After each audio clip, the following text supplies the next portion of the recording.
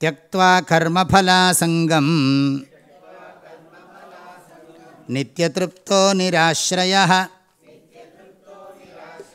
कर्मण्यभिप्रवृत्तोऽपि।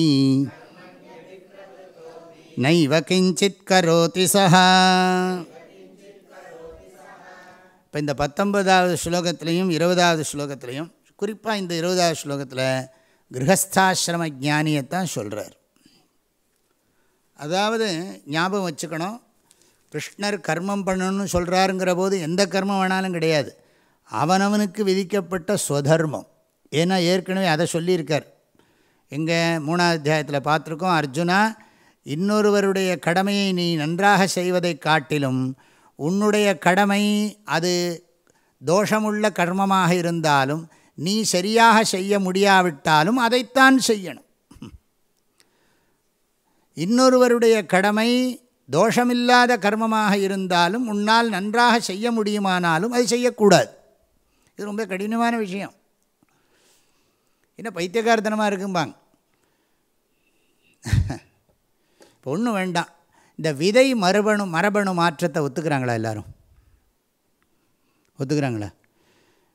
இப்போ விலங்குகளுக்கெல்லாம் இப்போ மர மரபணு மாற்றத்தை ஏற்றுக்கிறாங்களா ஏற்றுக்கிறதில்ல மனிதனில் மாத்திரம் ஏன் மரபணு மாற்றத்தை வேணுங்கிறான் கலப்பு திருமணங்கிறான். என்ன காரணம்? மரபணு மாற்றப்பட்ட விதைகளை இது பண்ணக்கூடாது அப்படிங்கிறாங்க. இப்போ மனிதனில் மாத்திரம் மரபணு மாற்றத்தையும் வரவேற்கிறார்கள். என்ன காரணம்? இது அறிவுபூர்வமானதா அறிவற்றதா? யோசிங்க. ஜாதி மாடுகளை காப்பாற்றணுங்கிறான் காங்கேயன் காளையை காப்பாற்றணும் அந்த காளையை காப்பாற்றணும் அப்படிங்கிறான். பிராமணனை மாத்திரம் ஒழிக்கணுங்கிறான்.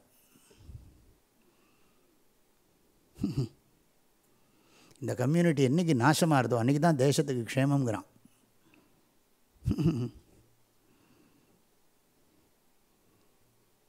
இந்த சாஸ்திரங்கள் அழிக்கப்பட வேண்டும் ஒழிக்கப்பட வேண்டும். நம்ம தேசத்துக்குள்ளேயே பேசுகிறோம் வேற எங்கேயா பேசினா பரவாயில்ல. இதுக்கு மாத்திரம் ஏன் இது பண்ணுறாங்க ஏதாவது புத்திசாலித்தை கேட்டால் இதுக்கு தான் பகுத்தறிவுங்கிறான். ஒன்றும் கண் குழப்பமோ குழப்பம். எதுலேயாவது ஒன்றுலையாவது தெளிவு வேண்டாம். பிரச்சனை இருக்குன்னா பிரச்சனையை சரி பண்ணணுமே தவிர பிரச்சனைக்கு மூலத்தையே இது பண்ண கத்தி கத்தினால் ப்ராப்ளம் வர்றதுங்கிறதுக்காக கத்தியே இல்லாமல் பண்ணிட முடியுமா? கத்தி வேணும். தப்பு இருந்தால் தப்பை திருத்தணுமே தவிர அதுக்காக வேண்டி அதோட மூலத்தையே ஒழிச்சுடணும்னு நினச்சா இப்படி நடக்குமா அது?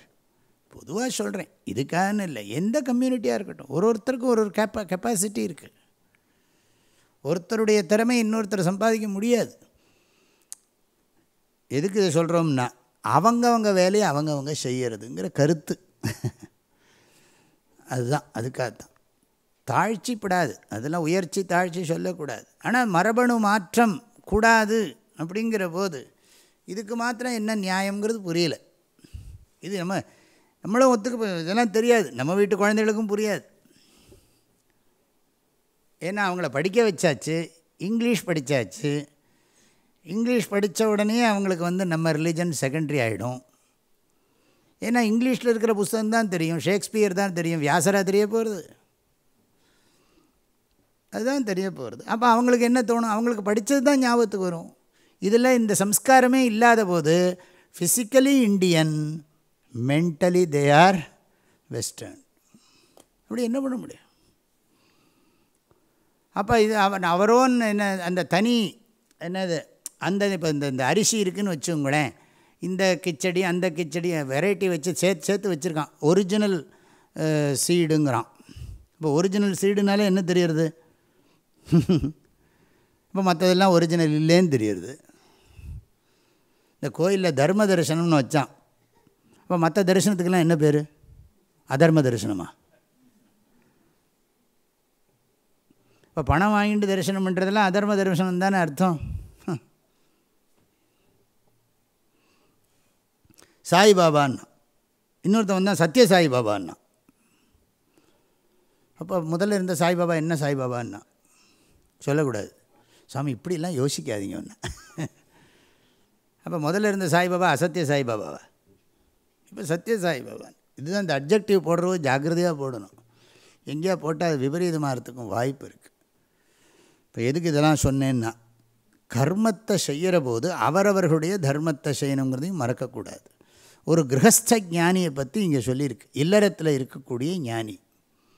அவருக்கும் தெரியும் அகம் பிரம்மாஸ்மி அகர்த்தா அஸ்மிங்கிற ஞானம் இருக்குது அதை தான் சொல்கிறார் இங்கே. கர்ம பல ஆசங்கம் தியக்துவா.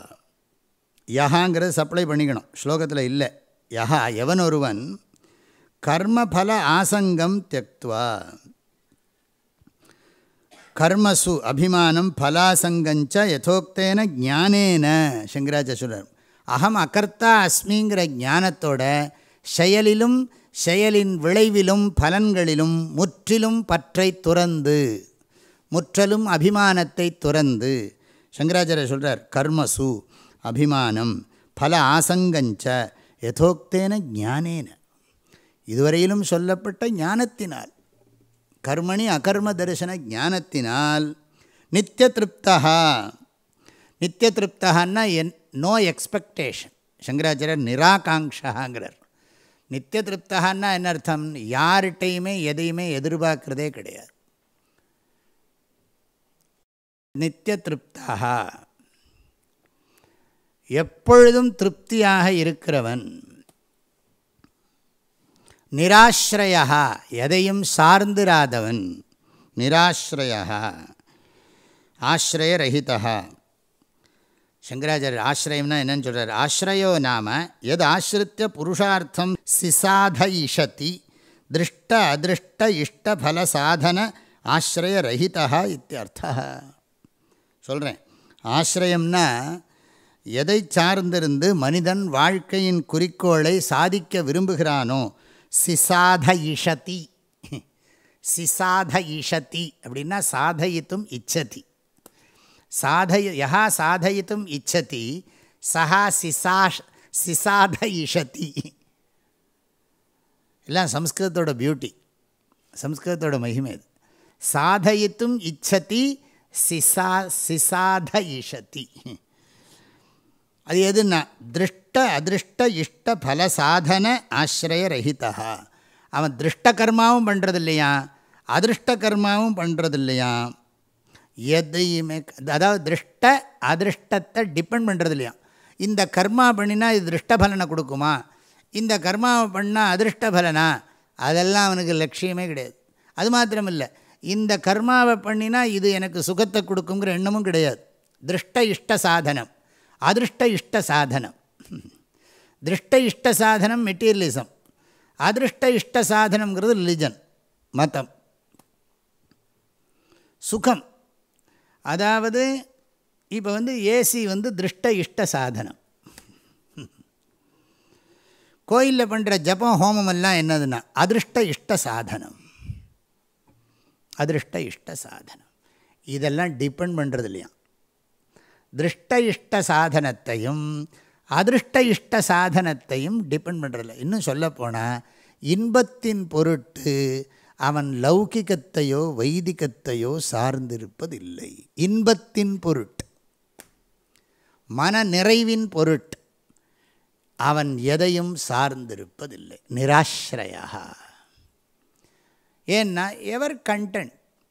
நித்திய திருப்தா. நிராஸ்ரயா நிராஸ்ரயத்வாத் நித்திய திருப்தா. அப்சல்யூட் இண்டிபெண்ட் நிராஸ்ரயா ஆனால் என்ன பண்ணுறான்னா ரொம்ப ஆக்டிவாக இருக்கான். கர்மண்ய அபிப்பிரவருத்தகாங்கிறார். ரொம்ப ஆக்டிவாக இருக்கான்.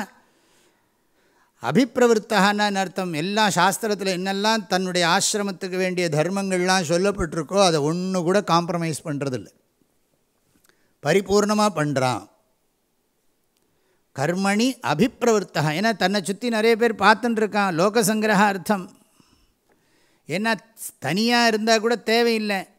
சுற்றி இருக்கிறவோ சொசைட்டிக்கு நடுவில் நான் வேலை செய்யாமல் இருந்தால் என்னை சோம்பேறின்னுடுவான் ஏன்னா அவன் மாத்திரமில்லை அவனுக்கு தெரியாது. நமக்கு உள்ளே இருக்கிற ஞானம் நம்ம மனசுக்குள்ளே இருக்கிற நிறைவு எதையும் சார்ந்திராத தன்மை யாருக்கு கண்ணுக்கும் தெரியாது. அது வந்து என்னது? ஆத்ம பிரத்யக்ஷம்னா பரப்பிரத்யக்ஷம். ஆகையினால என்ன பண்ணுறானா எல்லாருக்காக வேண்டியும் ஒழுங்காக அவனுடைய ஆசிரமத்தில் என்ன கடமை இருக்கோ ஆசிரமம்னா வாழ்க்கை முறை. அந்த வாழ்க்கை முறை அவன் கடைப்பிடிக்கிறான். ரொம்ப நித் கர்மணி அபிப்பிரவர்த்தகங்கிற ரொம்ப ஆக்டிவாக இருக்கானான் கர்மணி அபிப்பிரவருத்தோப்பி சாஸ்திர திருஷ்டியா சஹா கிஞ்சித்து நைவ கரோத்தி அவன் என்ன பண்ணினான்? இதுதான் கர்மத்தில் அகர்மம். இந்த ரெண்டாவது லைன் அவ்வளோ அழகாக சொல்கிறது அவன் ரொம்ப ஆக்டிவாக இருந்தாலும் அவன் உண்மையில் ஒன்று கூட செய்யலை.